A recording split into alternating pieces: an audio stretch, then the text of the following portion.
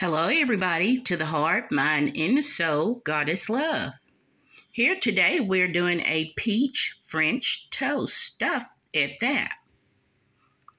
And we have extra peaches on the side, and we sprinkled it or dusted, however you want to call it, with powdered sugar, and we also added butter. And this is our ingredients. Is our chopped peaches, our cream cheese filling, and our peaches for the side. And if you can't find your French toast, Texas toast in the store, by all means, go ahead and get you two slices of white bread, wheat bread, whatever you prefer, or baguettes. And this is our filling that we have too as well for our French toast.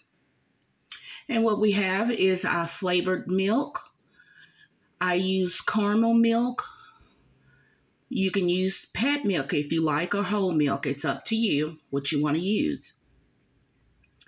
And we use nutmeg, butter, and our extract. Whatever flavor floats your boat.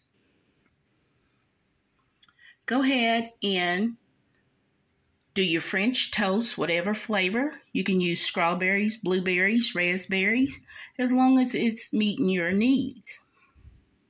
These are very easy, delicious recipes and videos that you're watching. So go right ahead and share, like, and give me a thumbs up.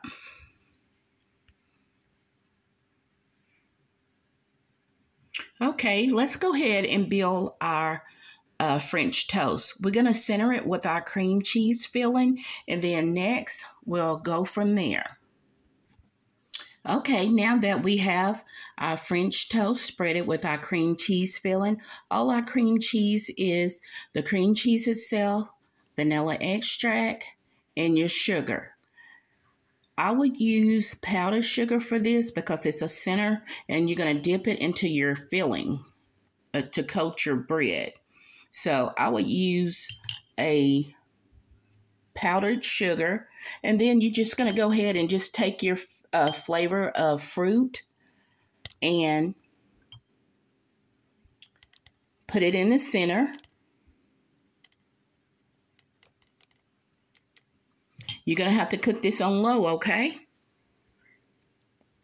And then you're going to take your other piece of bread and you're just going to put it on top.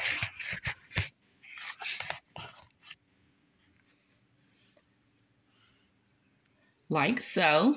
And then you may want to kind of like push the edges down a little bit.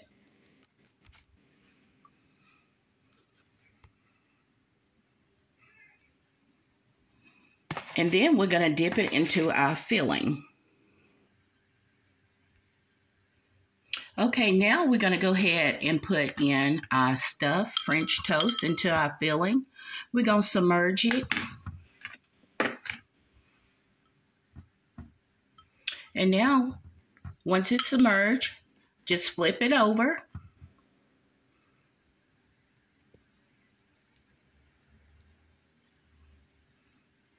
And take it out. The dish that you had it in, go ahead and place it back into it, just like so.